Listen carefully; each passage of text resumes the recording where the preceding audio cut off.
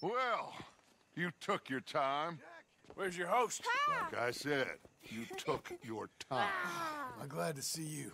Let's get going. What a fine man. Hey, friend. Thank Mr. Bronte You for right? everything. Yeah, I'm fine. Come on. You know, Arthur, Mr. Bronte has invited us to a garden party at the mayor's house.